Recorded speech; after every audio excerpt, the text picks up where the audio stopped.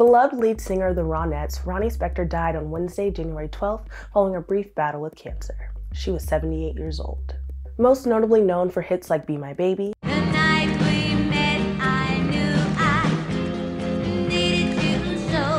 and Walking in the Rain. And someday, someway,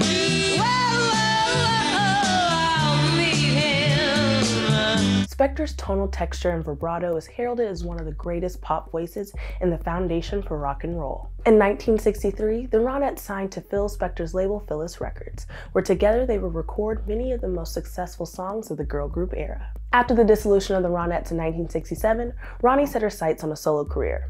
Signed to the Beatles' Apple Records, she recorded Try Some Buy Some, that featured her lush vocals over rounded chord progressions. Way back in time, someone said try some, I tried some,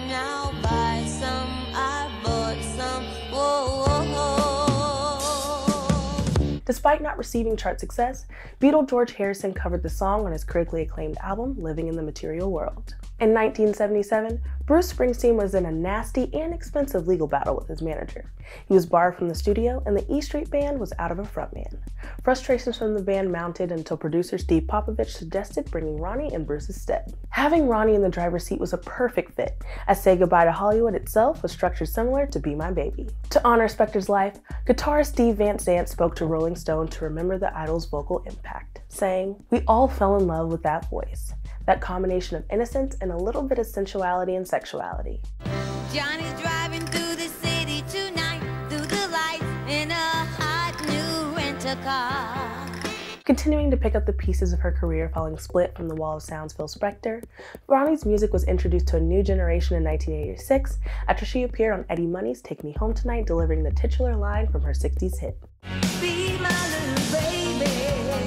Madonna cited Rock's original Tough Girl as inspiration, saying, I like to look the way Ronnie Spector sounded sexy, hungry, totally trashy. The impact of Ronnie's look would extend past the 80s with the style of starlet Amy Winehouse. When establishing her signature beehive and dramatic winged eyeliner, the late singer pointed to the style of Ronnie Spector and the Ronettes. Ronnie Spector's voice permeated souls and burrowed itself there as a memory. One can't hear her voice and mistake it for another.